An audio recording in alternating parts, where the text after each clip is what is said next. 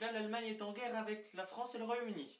C'est ça que vous êtes en train de me dire? Oui, et du coup il n'y a presque plus aucune division française à sa frontière avec nous.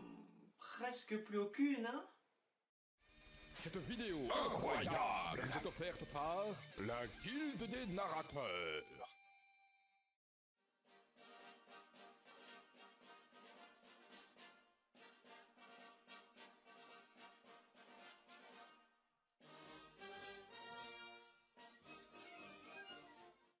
Après avoir vérifié la véracité de ces informations, nos troupes se placent à toutes nos frontières avec les Alliés et la Bulgarie au passage, parce que pourquoi pas.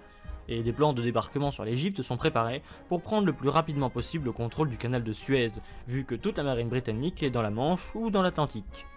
Je fais déclarer la guerre aux Alliés et à la Bulgarie en même temps le 11 septembre 1939, suivant la doctrine italienne de l'opportunisme. Les divisions motorisées s'élancent dans les Alpes françaises pour traverser le Rhône avant qu'une résistance française ne s'organise. L'offensive est si violente qu'avant la fin du mois, les troupes sont à Dijon en France, ont fait capituler la Bulgarie et ont pris le Caire. Ah, c'est quand même beau. Eh oui, je fais du tourisme à chaque opération militaire, hein, et croyez-moi, j'en ai besoin, à force de devoir supporter ce génie de Mussolini. Mais bon, il y a encore Mario et Luigi qui sont à Rome, alors rien à craindre. Il est passé où encore Lorenzo? Je crois qu'il est parti en Égypte. Mais pourquoi? À ton avis Ma, c'est pas possible, il est ingérable, j'en peux plus Voyant que l'armée italienne effectue d'immenses progrès en France, Hitler s'inquiète et lance son invasion du Benelux pour contourner la ligne Maginot, dans l'espoir de prendre Paris avant nous, et avec notre front qui s'enlise, il pourrait bien y arriver.